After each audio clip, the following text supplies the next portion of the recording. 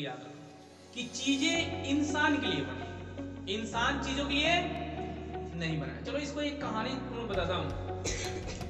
एक बार की बात है कि एक मतलब आदमी था, वो नया नया कार खरीदा था। मतलब नई एकदम चमचमाती, साफ़ सफ़ेद गाड़ी था।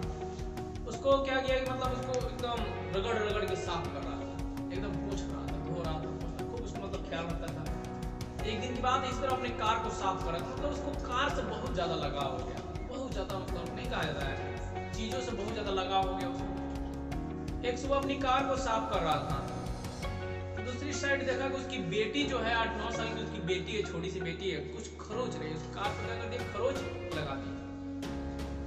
अभी आओ देखा ना था भाई, इतना मेरी प्यारी गाड़ी को इतना मतलब लगाव है, अच्छी गाड़ी को कि खरोच लगा दिया गया और उसका बाह पकड़ के कस के झोंक दिया। बच्ची थी, आठ नौ साल।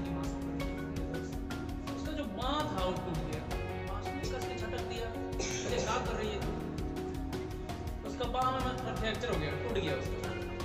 अब सब कुछ छोड़ छाड़ के उसको अस्पताल में लेकर भागा। अस्पताल में क्योंकि छोटी बच्ची थी, हाथ तो टूटने में बहुत दर्द होता है। हाथ में बैंडेज लगा दिया गया। इसको बड़ी पछतावा हो रहा था कि काश मैंने ये क्या कर दिया? उसकी बेटी जो थी बेड पर लेटी हुई थी, इससे पूछती है, सवाल, पापा चाहे डैडी, मैं कब ठीक हूँ? मुझे बहुत दर्द हो है। पछतावे की आग में जल रहा अस्पताल से सीधे आया बड़का सा लेपता उठाया, डंटा उठाया, कार को एकदम लाते मारने लगा, फोड़ने लगा।